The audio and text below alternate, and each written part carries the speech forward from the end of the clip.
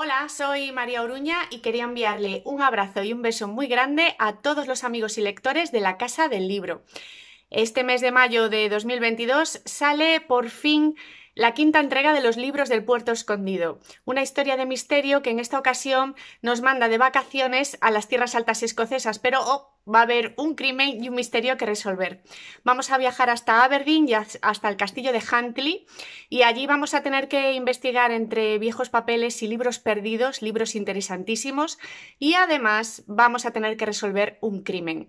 Viajaremos al siglo XIX y también nos quedaremos en el siglo XXI. Espero que el Camino del Fuego sea para vosotros una aventura tan increíble como lo ha sido para mí. Os mando un beso a todos muy grande. Gracias por estar ahí, marineros.